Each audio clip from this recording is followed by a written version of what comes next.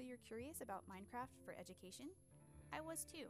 My name is Jen Foster, and I'm studying for my Master's of Science in Education in Learning Design and Technology at Purdue University. While I'm by no means an expert on the subject, I'd like to share what I've learned. This is Minecraft Education Edition the good, the bad, and the technical. So, what is Minecraft?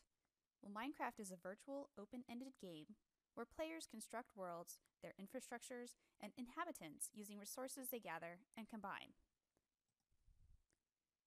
Minecraft was first released in May of 2009, so almost 10 years ago, and it's available on Windows, iOS, Android, Xbox, and PlayStation platforms. To date, over 100 million copies of the game have been sold. In 2014, its corporate provider, Mojang, was purchased by Microsoft, and Microsoft released the Education Edition in 2016. The good. Using Minecraft Education Edition strengthens 21st century skills such as creativity, motivation, collaboration, communication, social skills, critical thinking, and problem solving. Can be used to teach standards in language arts, science, history, computer science, math, and the arts. It strengthens students' IT skills, digital literacy skills, computer programming, and logic and reasoning skills. It contains thousands of pre made challenges and lessons for students to tackle. Teachers do not need to spend time creating their own modules from scratch. It allows secure multiplayer environments and allows students to share their work. The bad. Minecraft Education Edition has some drawbacks. It requires a Microsoft Office 365 login to sign up, so if your organization uses Google or any other email provider, you are out of luck. Even if the teacher has a personal Office login, they can't connect their students if their domain name is not. Minecraft EDU is not free to play. It is $5 per user per year, However, it does come with a free trial period of 10 logins for each student and 25 logins for each teacher user. And while you don't need to be an expert in Minecraft to use it in your classroom, you do need to have some training so that you can set up the lessons and customize as you need for your module. Uh, there is a great certification course available for free um, that's about a five hour commitment. It's called My Minecraft Journey.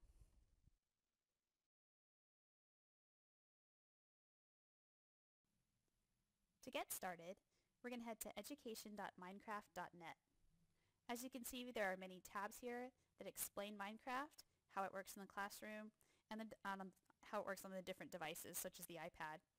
Uh, there's class resources where you can find training, lessons, worlds that are all pre-made, challenges and coding, communities, so there's forums, blogs to connect with other educators and uh, Minecraft crafters, and support tabs um, where you can find help centers and downloads.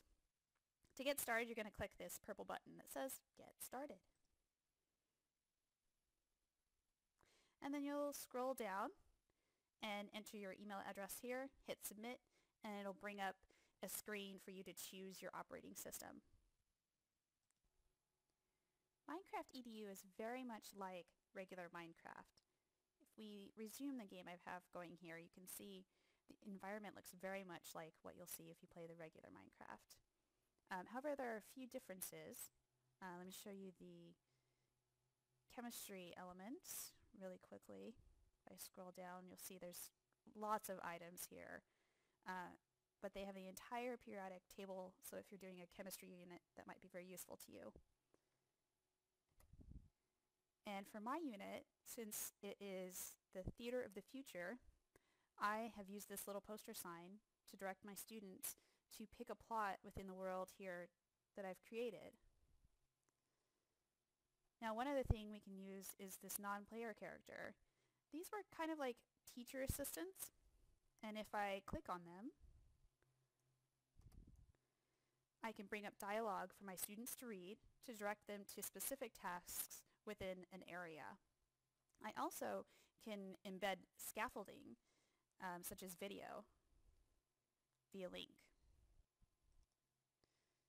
So you'll see it brought up a list from YouTube of videos they can watch on the different histories of theater.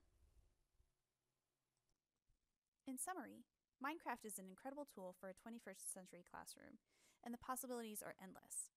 But it comes with a commitment to Microsoft Office 365.